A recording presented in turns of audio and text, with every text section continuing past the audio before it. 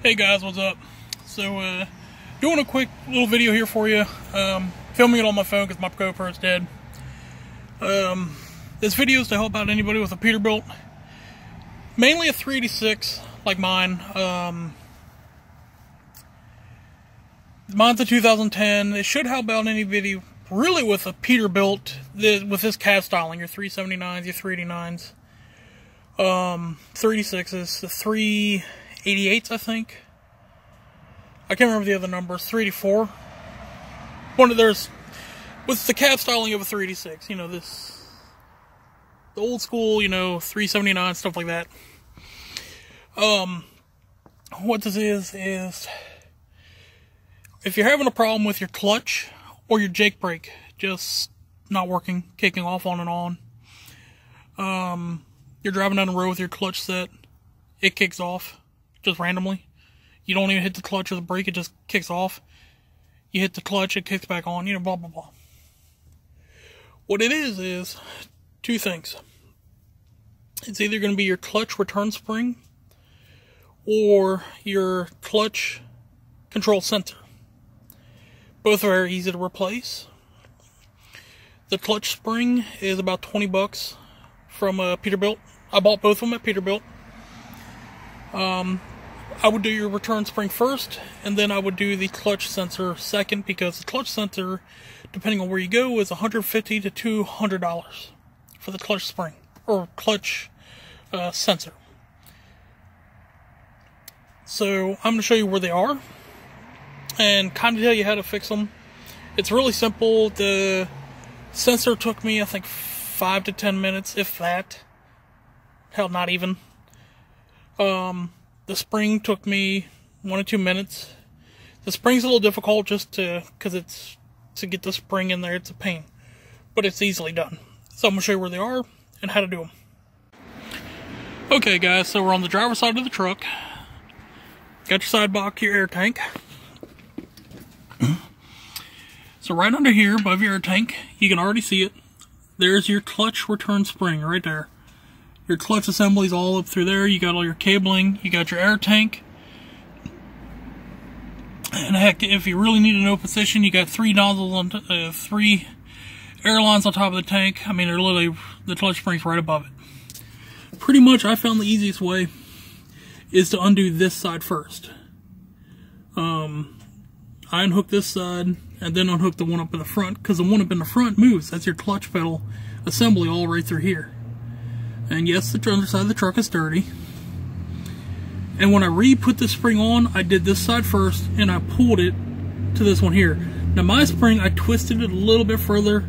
Um, like if you just put it on and just hook it, it's fine. It's brand new spring.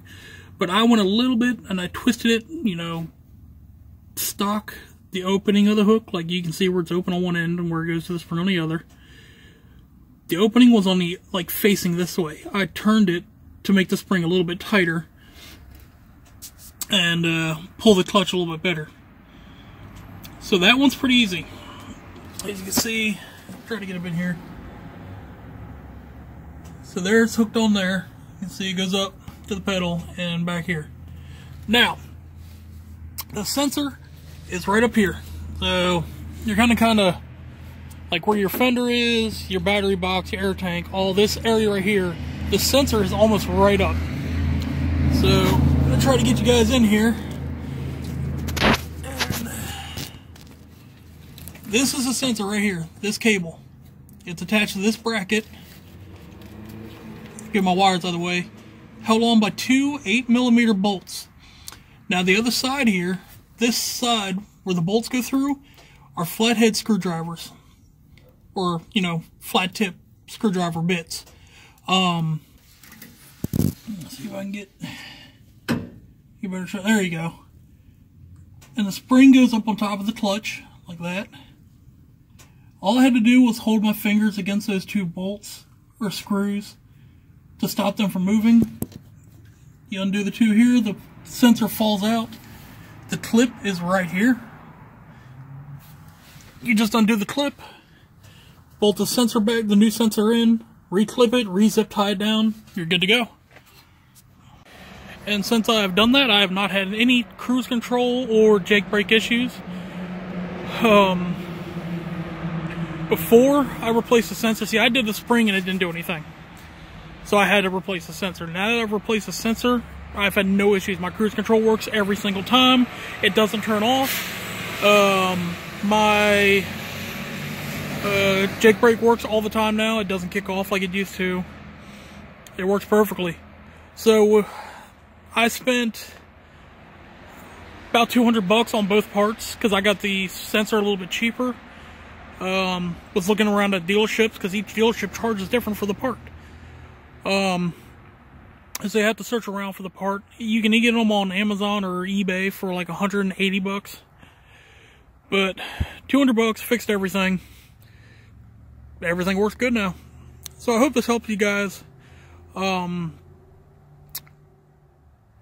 I don't have the part numbers. Um, I'll try to put the part numbers in the description below. I gotta look them up online. I'll try to put the part part numbers below. And uh, hope this helps you guys if you guys are having clutch or uh, cruise control issues or jake brake issues um, with them kicking off while you're driving down the road just randomly. So if you are having that issue, these are the first two things you should look at. Easiest things to replace. After that, you're looking at crew at your control or your clutch stuff, you know. So hopefully this helps, guys. Y'all have a good day. Be safe out there. Catch you later.